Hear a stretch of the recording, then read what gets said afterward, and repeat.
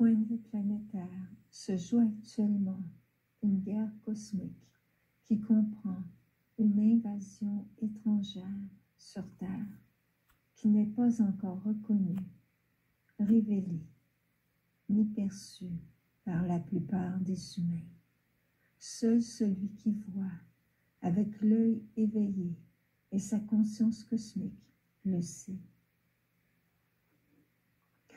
Le degré d'absurdité qui vient de la pensée inversée sur Terre en ce moment vient d'une force étrangère à la nature réelle des humains sur Terre. Mais parce que l'humain fut trop longtemps entraîné dans son périple du refus de voir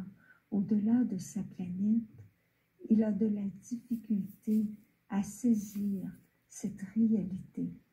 et demeure dans la négation de forces étrangères